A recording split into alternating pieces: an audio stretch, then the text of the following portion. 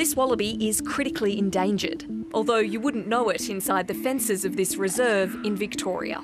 We're constantly having to remind ourselves that these are super endangered, super rare. Today, traps are being set as part of a plan to save the southern brushtail rock wallaby. We have the top genetically diverse animals here, and we're from those we're selecting the best top 40. Hunting, the introduction of predators like foxes, and then inbreeding drove the animal almost to extinction. As night sets in, some curious wallabies make their move.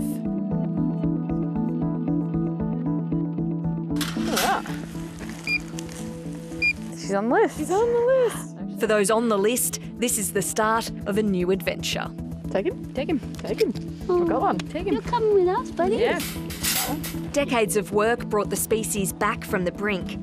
Then bushfires in 2020 threatened two of the three sites where the wallabies lived.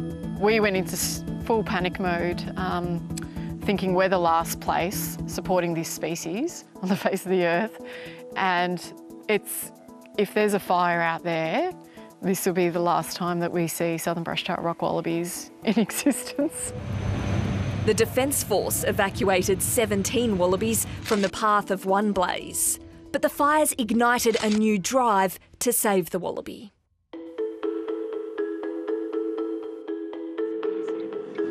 Here we are, Little River Gorge. It's far rarer to find a southern brushtail rock wallaby out here. There are fewer than 50 still living in the wild. But some very dedicated people are keeping track of them. They do come up a surprising way up the gorge. The only way to monitor the wild population is to get down in their habitat on foot.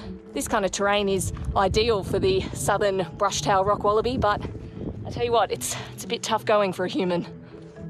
Motion sensor cameras like this allow the team to monitor the population. It had been steadily growing until those fires. The joeys are disappearing once they leave the pouch, and so that's been a real concern for us. There's more food scarcity, so you know predators might have been drawn in here. Baiting foxes and feral cats is a priority, and wallabies from captivity are slowly being introduced. Donations following the fires have helped establish a new safe haven. Given that two of the three colonies um, that existed a couple of years ago we were under risk of, of bushfire, um, yeah, we, we don't want to find ourselves in that situation again. The wallabies caught at the existing reserve are being driven across to their new home. This is the moment, releasing some of the first residents for this new safe haven. Hey. Hi. Hello, mate. There they go. A few dozen more will be brought here over the next couple of months, and then it'll be up to the wallabies themselves to take over the job of growing the population.